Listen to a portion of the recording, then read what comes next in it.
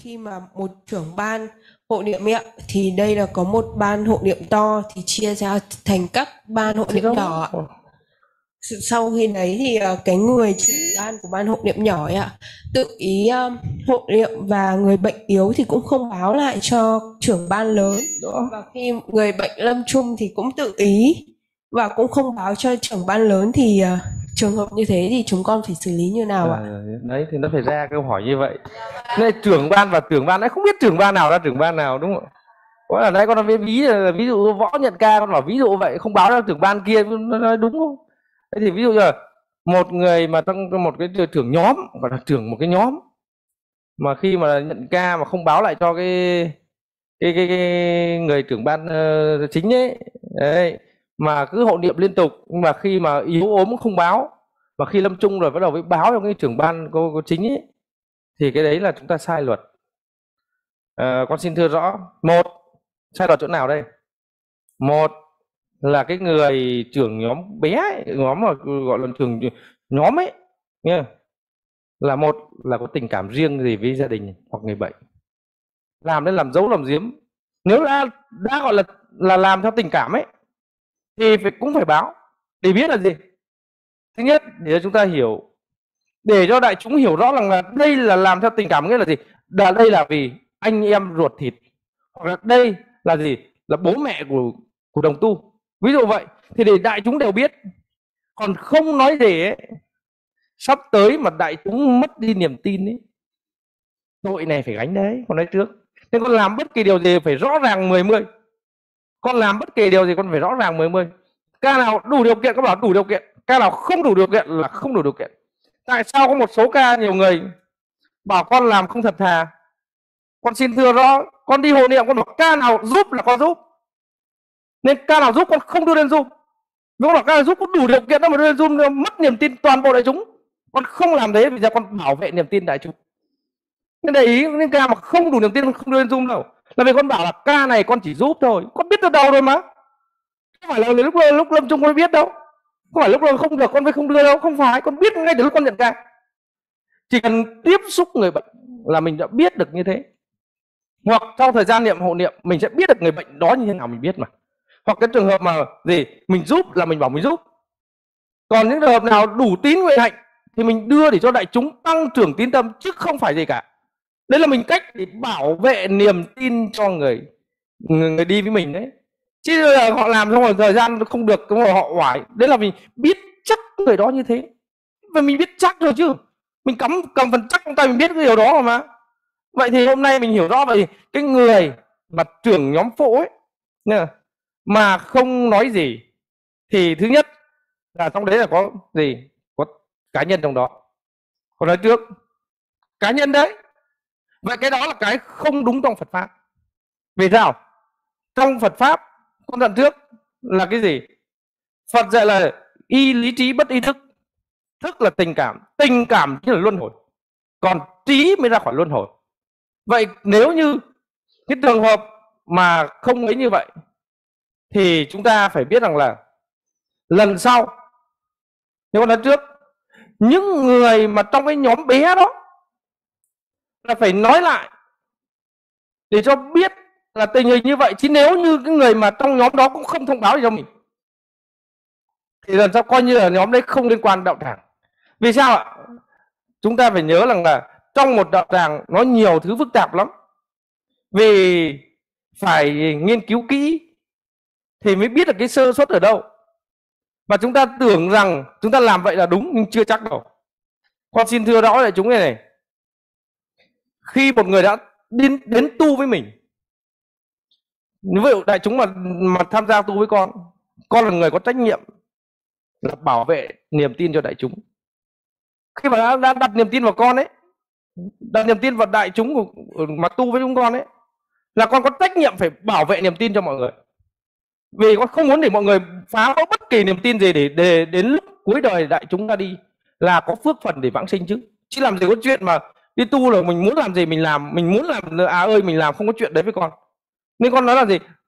Đạo tràng chúng con trên đấy giờ đông con không muốn tiếp quản ai nữa, vì sao ạ? Không muốn tiếp nhận thêm nữa là vì không còn đủ sức để bảo vệ họ nữa. Không còn đủ sức nữa rồi. Nên con không muốn nhận thêm bất kỳ nhóm nào là vì thế. Đấy, rất nhiều nhóm gọi điện đến muốn mà con không muốn nữa rồi. Vì thế mình, đấy, mình không còn quản lý được ờ, việc đó không phải là quản lý, mà mình không còn gì, giúp đỡ được họ để cho họ có đủ niềm tin đến nước mà.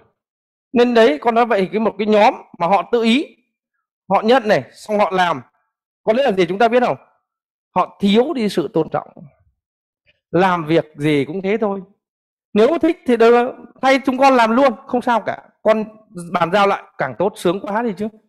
Con nói trước rằng con và chị Diệu An đang muốn giao lại toàn bộ. Vì sao? Không làm nổi nữa. Vì quá sức với chúng con rồi vậy nếu như họ muốn thì con giao lại bình thường. Con đã làm là phải thật thà. Đã làm là phải gì? Phải có trên, có dưới con nói trước.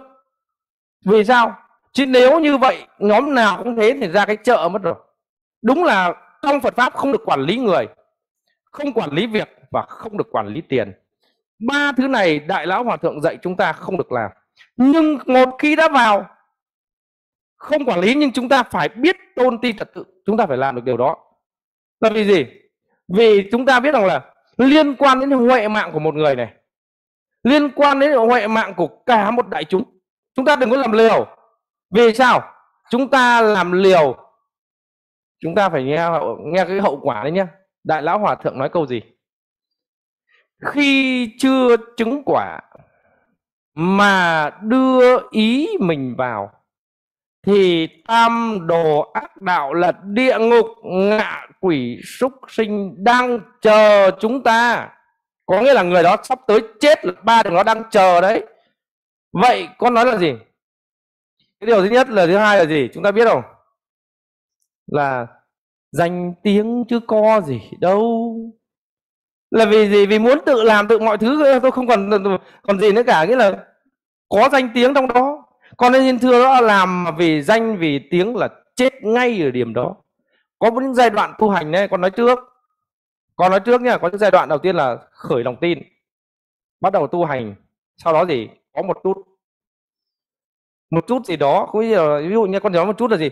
Là ngồi được lâu hay là có có người thì có một chút là thanh tịnh hay có một chút gì đó. Ví dụ vậy. Đến cái thứ bốn là chết hết. Đến cái thứ bốn là gì? Bắt đầu nghĩ đến danh lợi bắt đầu là chết đòn. Nên đa phần con người chết ở cái điểm thứ tư đấy. Con nói trước là đa phần cái người tu hành chết ở cái điểm cuối cùng là đến phần danh lợi. Người đa phần thời nay chết ở điểm đó hết. Con nói trước, con dám nói trước là vì con đã chứng kiến rất rất nhiều người rồi. Đến phần danh lợi là chết hết. Nên hôm nay con cảnh cáo đại chúng là nhớ là tu hành, nhớ con dặn là danh lợi là phải buông xuống không là chết hết. Đến ngày nằm xuống là không còn ai đâu, tên bừng bồ đề rụng hết. Nên chính vì vậy mà cái người mà trưởng nhóm đó nha là vì cùng một đạo tràng mà. Con không nói là nhóm nhỏ như này nha con không nói. Nhóm là nhà chúng con ấy, là trên đạo tràng đấy là, bây giờ chia là rất là nhóm, nhiều nhóm nhỏ thì hộ niệm, chứ không phải con nói là cái đạo tràng liên quan chúng con đây, mà con đang nói là ừ, ở trên đạo tràng chúng con đấy là bây giờ là chia rất là nhiều nhóm nhỏ để cùng đi hộ niệm nếu như những nhóm nhỏ lấy toàn là tự ý hết, vậy nhóm nào cũng vậy. Thì thôi chia làm gì, các vị tự làm đi thì con được giải tán sướng thế. Có đúng không ạ? Sướng mà, con gì ăn nhảy múa luôn. Con xin thưa là con sẽ nhảy múa, con làm tiệc ăn mừng luôn. Là vì con hết ràng buộc. Sướng mà. Vì sao? Vì nhiều người tu hành. Chúng ta biết gì không? Hôm nay con nói ra đây nhé. Nói ra đây thì chúng ta biết nhé. Sau này các đạo tràng đây này rất là nhiều, các đạo tràng. Chúng ta sẽ biết nhớ con dặn một điều. Không có phật tử nào là của tôi cả. Con dặn trước. Nếu của tôi, thì con đã đặt một dấu chấm hỏi rất to và to đùng luôn. Vậy họ thuộc quản lý của anh, thì anh phải có lợi gì trong đó? Cứ sợ mất phật tử ấy. Đối với con, không sợ, con ở đi hết cũng được. Con nhàn con nói về con, phụ thuộc vào ai đâu có đúng không ạ? Nhưng vì họ phải phụ thuộc vào các phật tử, nên họ tu họ cứ sợ mất các phật tử. Chúng ta là tu hành đừng sợ mất, con tận trước nhá. Ở đây ta dẫn chúng đạo tràng niệm phật đường với nhau, đừng sợ mất phật tử. Mất cứ mất đi thì cứ đi, để duyên nó hết. Nhưng nhiều người tu cứ muốn nó đông. Đông về rồi đi thì lại gì? Bắt đầu xảy ra cạnh tranh với nhau. Đấy là gì? Danh lợi. Chỉ vì họ có lợi trong đó mà họ làm điều đấy, nên con không đồng ý cái việc đó nên hôm nay con nhắc toàn bộ các trưởng nhóm. Nghe con nhận nhắc trước nha không nhắc riêng ai đâu. Không có phật tử nào là của tôi cả. Con giận trước, không có ai là của tôi hết. Mà gì? Chúng ta tu là bình đẳng như nhau. Nên cái người mà cứ sợ mất phật tử, người cứ muốn lôi kéo phật tử, thì con thường đặt dấu hỏi to lắm đấy. Và vậy thì phải được cái gì thì mới muốn đông chứ? Đúng không ạ? Nếu không vì danh ấy thì đông hay không cũng như nhau mà. Không vì lợi thì có nhiều người giàu hay người nghèo cũng giống nhau mà. Nên con không quan trọng điều đó. Đối với con con không quan trọng cái điều đó. Giàu đến cũng được, nghèo đến cũng được. Đúng không ạ? Còn cái nhiều người phải là người giàu đến tôi tu thôi vì không có chuyện đấy, không. Vậy là gì? Phải đặt một dấu hỏi to. Đúng không vậy là họ đang vì cái gì đấy?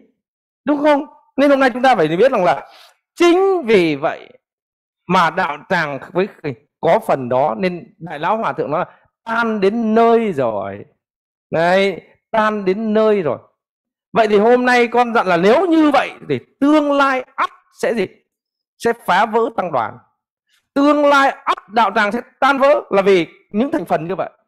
Nên những thành phần như vậy, nếu như sau này để xử lý, thì con dặn trước nha nếu như còn như vậy, thì tất cả những gì thì muốn riêng luôn đi, không sao cả.